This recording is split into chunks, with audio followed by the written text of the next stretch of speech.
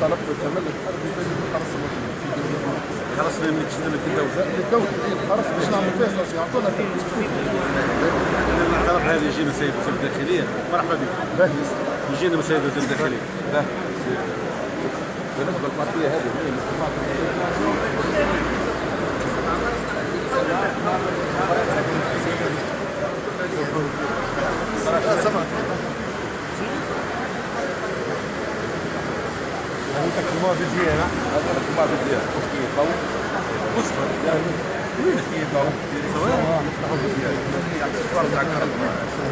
يعني مازال عندنا البارتي ريكلوفار ديما مثلا حتى نحيوا الميزير جدد وقت اللي وصلنا الميزير جدد ندخلوا لابليكاسيون ندخلوا الابليكاسيون اللي مرتسل هنا اهم حاجة هو تعرف الابليكاسيون اللي لوب لا لا أولادنا أولادنا أولادنا من غير لوب علاش؟ خاطر أولادنا حتى كانوا عصاميين والحمد لله ويعرف سي البشير. حتى كانوا عصاميين. إحنا وصلنا شدينا كلام بالرينو ورجعهم للرينو والبيجو قلنا لهم نوامركم الشاسي بتاعكم راهم رجلين في تونس. مشهود لنا على مستوى l'identification تونس مشهود لنا على قاعدة مش لا. أنا ثقة. والحمد لله. بعدين الفصاج يرجع باقي بنين خلنا مصادي باش يستلم الورقه بتاعته ألف مبروك وكل مبروك على الجهه هكا كل حازم شو حازم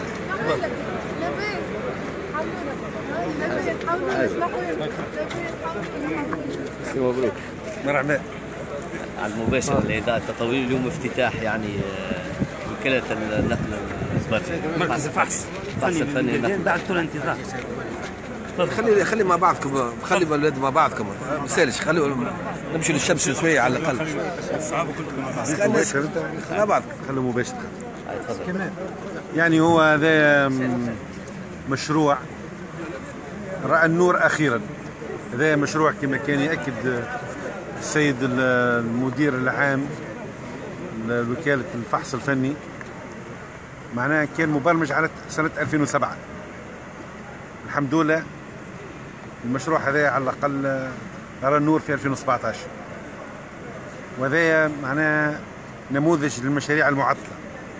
وإحنا حرصنا في زيارة 7 مارس رأى النور وهذا باش يعاون ويقرب برشا الخدمات للمواطنين اللي هي من أهم أدوار الدولة في في في مشاريعها.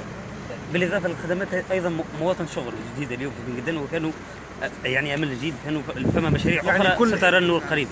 يعني هو بن قردان انت ما تشوف اللي هي ما منطقة أشغال عامة أصبحت والحمد لله. وهذا يعني آه الغاية منه اولا هذه مدينة أصبحت مدينة رمز في تونس اللي هو رمزية مقاومة الإرهاب. وهي رمزية ليست سهلة. والدولة يعني آه، قالت ترى باش نجاو ونقوموا بواجبنا مع اهالي هذه المنطقة واهالي هذه الربوع.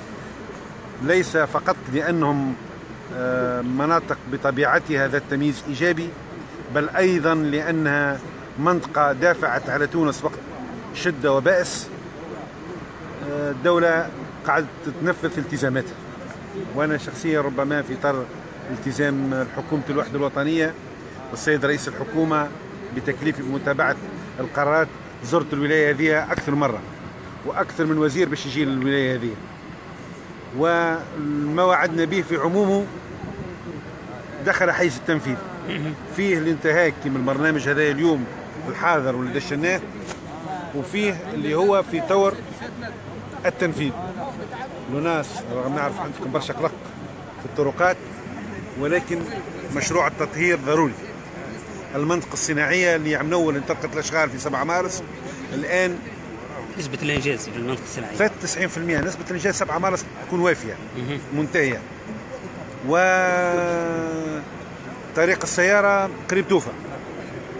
آه، المنطقة اللوجستية تقدمت والأرض استلموها والشركة تكونت والدولة رصدت الاعتماد لمدها بكل الإمكانيات أيضا يعني المركز الخيل اللي هو رصدت كل اعتماداته في 2018 يعني كل من التزمت المسلخ أيضا يعني رصدت اعتماداته كاملة وتنطلق فيها اشغال في شهر مارس. يعني كل التي الالتزامات شهداء عوائل الشهداء وهذا هام جدا. تشغيل تم تشغيلهم وإسكانهم والرعاية بهم رعاية تامة.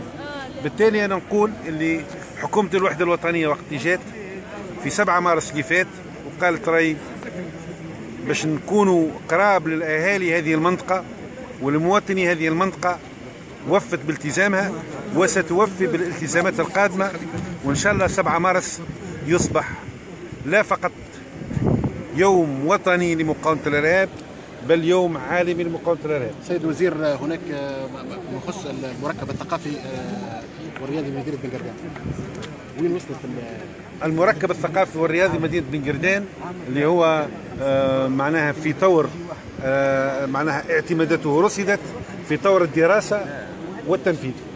بالتالي أيضا هذايا موضوع أخذ طريقه. لكن هناك وعد سابق إن الانطلاقة ستكون خلال شهر شهر مارس بحول الله في ال- المركب الثقافي. قدر الله علاش لا؟ أنا البارح كنا في جلسة في المجلس الجهوي لا مش لسيا مش. مركب الثقافي اللي هو معناها أنا أعتقد اللي دراساته يظهر لي l'appel d'offres وقع في les études تم في في في في فيفري هذايا أنا أتأكد أنه بحول الله ستنطلق خلال شهر مارس. قدر الله. يعني أنا أنا وزير مملكه عقارية يعني